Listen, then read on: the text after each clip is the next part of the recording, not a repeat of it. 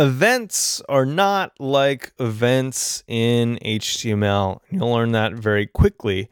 Uh, in HTML, we might have something that looks like this on click, and we give it a string that does something like alerts one claps.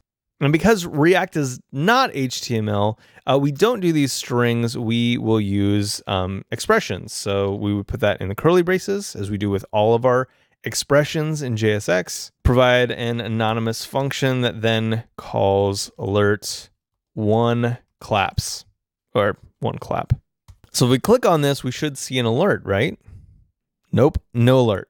So why not? Well, the second difference is that these attributes or props are camel cased. So we can't do a lowercase on click. It's going to be on uppercase click. Now, when we click on this, we'll get the alert that we expected. So the two big differences are that we camel case these. So instead of on click all lowercase, it's going to be camel cased on click. And we use these curly braces to provide an expression instead of a function in strings. Now, this applies to all types of events that you might like to use. So on mouse enter is one of the uh, hover events.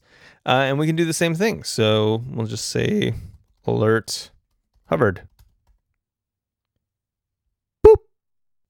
Now I don't actually want that. That would be super annoying. So we will carry on without such nonsense.